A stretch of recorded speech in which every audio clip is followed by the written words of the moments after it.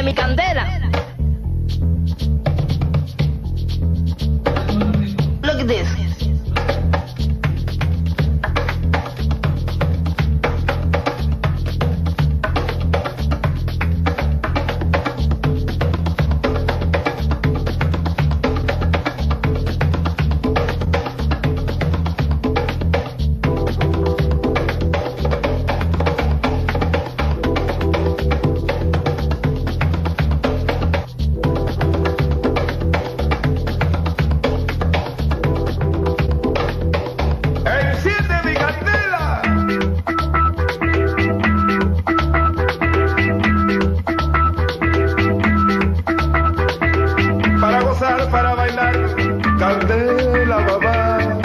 Gozar, para bailar, candela, babá.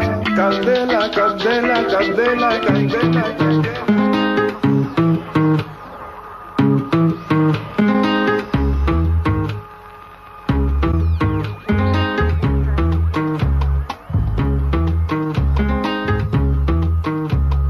¿Alguien se puede definir como el fundador de Nueva Lima? ¿O siempre se echan así Los acá presentes. Bueno, la culpa entre ya que estoy acá. No, la verdad, todos estábamos dispersos en ese momento. Antes habíamos tocado juntos en varios grupos. En uno de mis viajes a Brasil vi en un letrero tirado ahí que decía Nova Lima, a 30 kilómetros, en Belo Horizonte. ¿no? Y se me quedó grabada la idea. Y luego, conversando con Rafael, que también tenía sus canciones en Londres, comenzamos a producirlas. Ramón intervino, Pierpa también, ya en Perú. Quedó la idea de lo nuevo en Lima, pues, ¿no? Y tratar de sacar los, los músicos clásicos y mezclarlo con las cosas modernas que ya habíamos aprendido. Entonces, ese fue un proyecto Nova Lima que queríamos hacer realmente. En verdad nunca perdimos el contacto porque ya veníamos tocando juntos desde el 87. ¿Cómo qué? Como diferentes bandas. El Avispón Verde. Siempre lo diferente, ¿no? Siempre- Circo Ficción. Sí. Y desde el 87 tocábamos una banda metal que se llama Curriculum Mortis. Pero tan viejos no son ustedes, desde el 87. Pero ¿Qué edad tenían en el desde- 87? 15.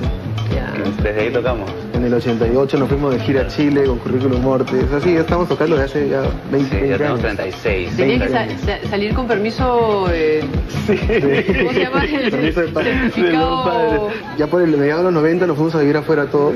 Él a Hong Kong, yo a Londres, y mi hermano a Barcelona, y Ramón sí se quedó acá en Perú, ¿no? De los cuatro sitios que tocábamos, en el Aispón y Circo.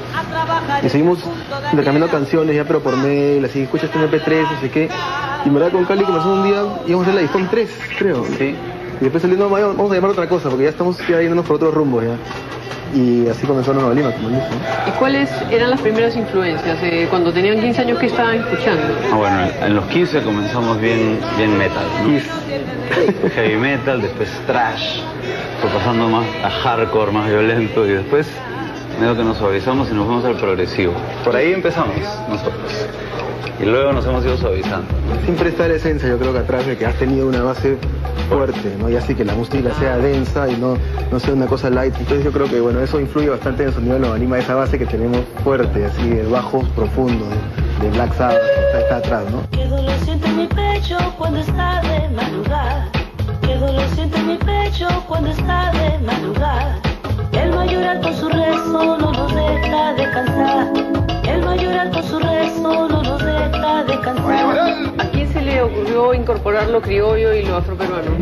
Creo que fue viniendo de todos a la vez. Eh, por ejemplo, a Cali se le ocurrió en el primer disco llamar a, a Mangué para probar grabar algunos cajones en un par de canciones, ¿no? que no necesariamente era música afroperuana. Ahí conocimos a Mangué, eh, después a Cotito lo mismo. Yo hice una canción donde se me ocurrió meterle un coro de No Valentín encima y así poco a poco se fue creando la idea y sin- realmente sin darnos cuenta, después vino Milagros, ¿no? Que la recomendó Cotito y Mangué, ambos por diferentes lados, digamos, separados.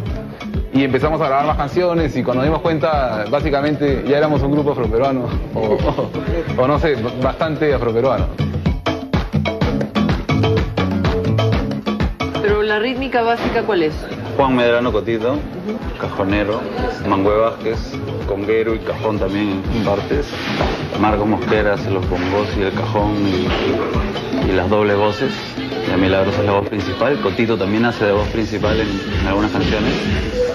Y la base somos nosotros, ¿no? Que Rafael toca la guitarra, yo toco el bajo, como tradicionalmente, Ramón toca los teclados y Grimaldo hace la secuencia. Y Constantino los timbales.